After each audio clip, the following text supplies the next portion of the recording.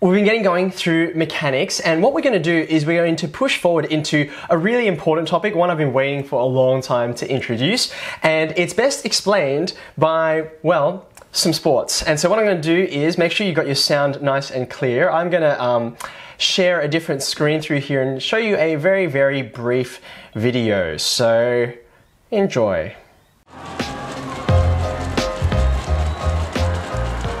If you look closely at this pack of riders in the Tour de France, you'll see some of the best cyclists in the world. They're here in the back. They're keeping up, but also resting, while their teammates in the front do most of the work. It's a technique called drafting, and it's what helps them survive the three week race around France. But drafting only really makes a difference on these parts of the route the long, flat, and hilly stages. Here, cyclists ride together in a formation called a peloton. It allows cyclists to save energy by sitting behind another rider or drafting. At high speeds, riders use most of their energy to pedal against wind resistance. But when a rider stays close behind another, they're sheltered from much of that, so pedaling becomes much easier and they can keep up with the front riders. The way to measure this is to look at how much power a cyclist generates. Here at the front of the peloton, a Tour de France rider will generate at least 300 watts of power. I jumped on a bike to see what that feels like, and just two kilometers holding 300 watts was really, really hard. By comparison, when a rider is behind the lead in the peloton, they only need to generate about 240 watts to move at the same speed. Holding 240 watts for 2 kilometers felt remarkably easier. So even though these two might finish a 200 kilometer flat stage at the same time, one is going to be way less tired than the other. That's why you see some of the tour's best riders here in the back. They're drafting off their teammates, whose job it is to do the hard work now so that the team's best cyclist is rested for the most difficult part, the mountains, where they'll have to be on their own.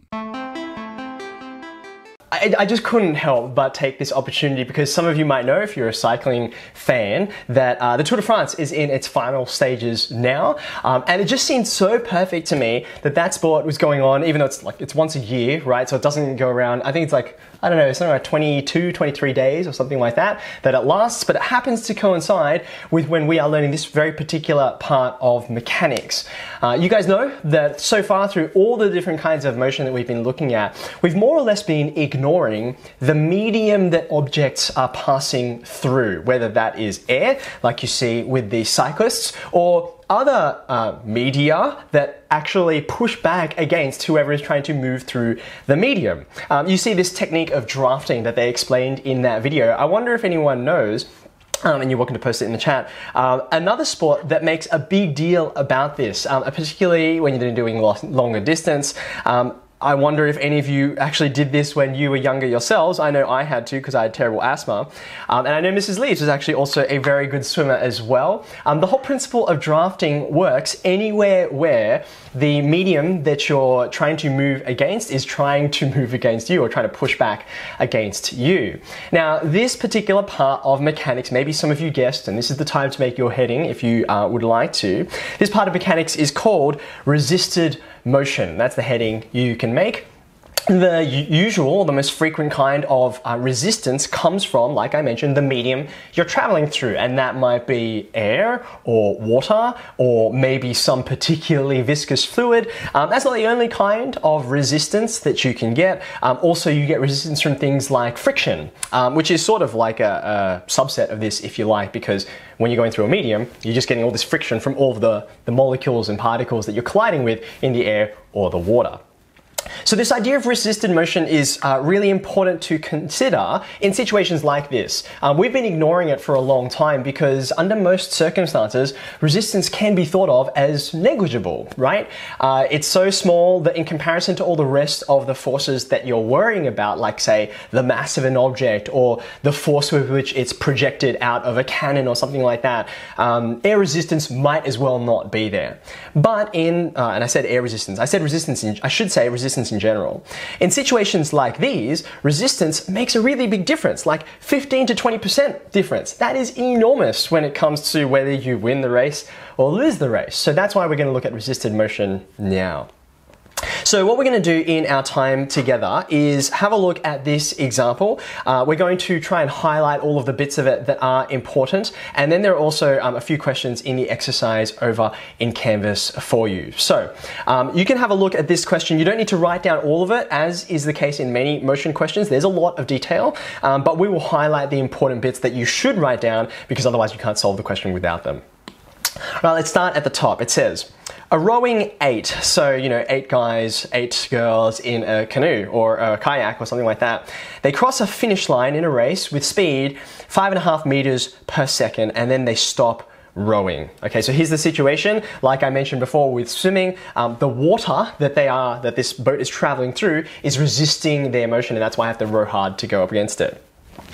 In a greatly simplified mathematical model, the boat is slowed by two drag forces. So when they say drag, um, this is kind of one of the um, aerodynamic words, the physics words that indicates to us there is this resistance coming back from the medium they're traveling through.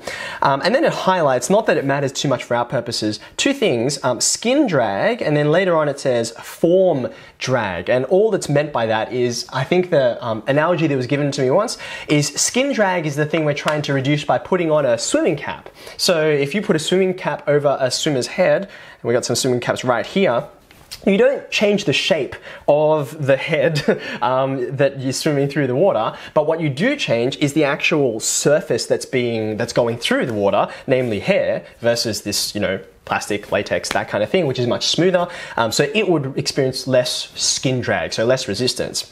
Whereas you've also got form drag, which comes from, as the question says, um, the shape of the boat pushing the water aside. Okay.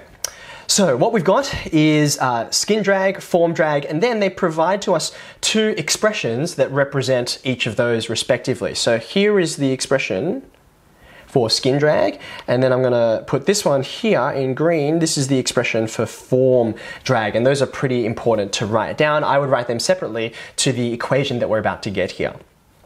Thus, the force equation is. All right, now there's a lot to unpack here. Let's see what's going on. On the left hand side, hopefully you recognize this. This is mass times acceleration. So ma, that's force. So maybe you want to just indicate that. That whole thing is force.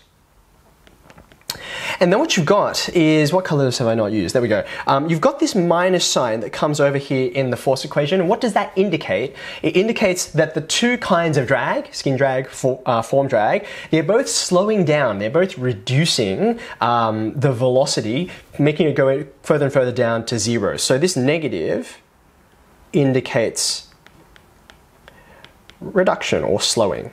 I might just say slowing. Okay, then, if you have a look carefully, right, you've got, uh, I'm gonna look over here on the left-hand side first. You've got this MV on 100. So where does that come from? That's the form drag you can see there. So I'm going to highlight that in green. I think I've got a color for that somewhere. There we go. So there's the MV on 100. That's where that comes from. And then you've got uh, this uh, 1 over 10 mv squared. So if you got the same denominator, 1 over 100, then you'd have a 10 up the top, 10 over 100, so 10 mv squared, um, and that m has already been factorized out, you can see there in front of the brackets. So that's why this 10v squared is what you get from the skin drag. So those two things are just combined together and they're both slowing us down, so that's why it's negative. Okay, uh, that is the force equation, and x is given as the distance past the finish line. So in some ways you could call this the initial condition, um, even though the entire race has been going, but we're just interested in what happens after you cross the finish line. So x equals zero is the finish line, and then as x gets bigger, you go further and further along. Um, then v is the speed of the boat. All right, so what do we do with this? Well, firstly, part A, we want to find the velocity as a function of displacement, v as a function of x.